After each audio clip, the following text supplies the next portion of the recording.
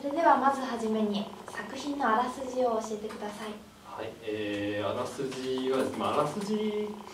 と言ってしまうと、まあ、あの親子の何ともない日常の話になるんですけれども、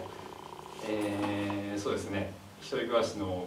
えー、東京で一人暮らししてる息子のところに、えーと、お母さんがやってきてみたいな、えーまあ、言葉にしてしまうと本当そっけないというか山も持ちもないという感じになってしまうんですけれども、えー、なんか個人的にはこの話はなんか絵本みたいな話だと思っててなんか山もなんか大した山も落ちもなければ、うん、最後にどんでん返しがあるわけじゃないんですけれどもそれがなんかあのでも見ていて優しい気持ちになったりとかうんなんか安心して見れるようなそんな映画になってるかなと思ってます。ちょっとあらすじがなくなっちゃいましたけど、すみません。ありがとうございます。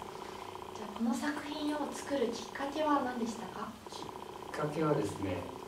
まああの自分が今のこの今自分21なんですけども、はい、えっ、ー、とこの今の年齢のうちにその自分が親という立場になる前に、子供の目線から親子っていうものを描いておきたいなと思ってまして。でこのタイトル「えーと、光タイプ」という作品なんですけどもこのタイトル自体は23年ぐらい前からあのちょっとアイディアとしてありまして、まあ、それをいつ、はい、やろうかなと思ってたのが、まあ、たまたまこの作品だったという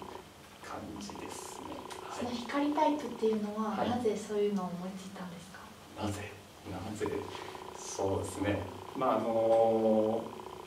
まあ主人公がのぞみくんという名前でしてえっとまあ、新幹線のぞみとか光とか種別があるんですけどもまああののぞみっていう名前だけど、まあ、そんなに急がなくていいんだよっていう意味を込めて、まあ、光タイプとなるほどいう感じでございます。はい、はい、ありがとうございます。では映画を見るにあたり注目してほしいところはありますか？注目してほしいところはですね、はいそうですねまず、えー、冒頭に結構ちょっと早いカット割りのシーンがありまして、まあ、あのそこでまずあの、まあ、こんな無名な学生監督の作品を、まあ、あのまず見てもらうためにあのちょっと飽きてもらっては困るのでとりあえず見てもらおうと思って、え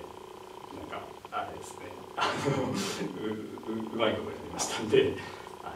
あの冒頭のシーンに注目して、はい、冒頭のシーンもそうですね。あとはあの静音作業を結構しっかりやっていてあの、はい、例えばあのコップを置く音とか茶碗を置く音みたいなのを全部あの静音担当の人とか足してくれたりしてるので、まあ、あのそういう細かい音の部分にも注目してもらえるといいかなと思ってますね。はい、はい。東京学生映画祭に出場が決まりましたが、はい、今のお気持ちはいかがですか、えー、恐縮でございます。あのはいあのいやもう見ていただくだけで上映されるなんて思ってもいなかったのではいあのはい少しでもいろんな人に見ていただければそれだけではい十分です、はい、それでは最後に映画を見てもらう皆さんに一言お願いします。はい。こちらで、はい、こちらで。い。やあのー、そんな大した作品ではないんですけども、あのー、ぜひ、えー、見ていただいて特に、あの同世代の方々にあの響いてくれると嬉しいなと思っておりますのでぜひよろしくお願いします。ありがとうございました。はい、ありがとうございました。